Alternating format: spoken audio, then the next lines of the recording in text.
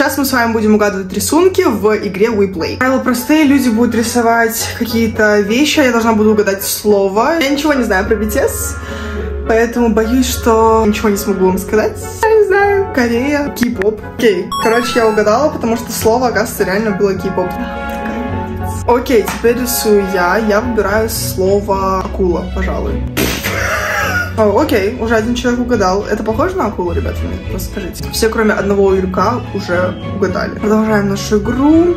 Рисует Ирина. Что это? Это похоже на конфеты. Рыбы. Океан. Э,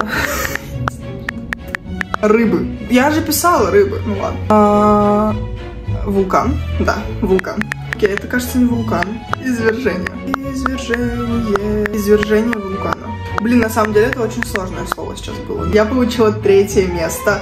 Это, если что, игра WePlay, она супер интересная. В этой игре, как вы видели, можно найти много новых друзей, потому что здесь очень много разных игроков.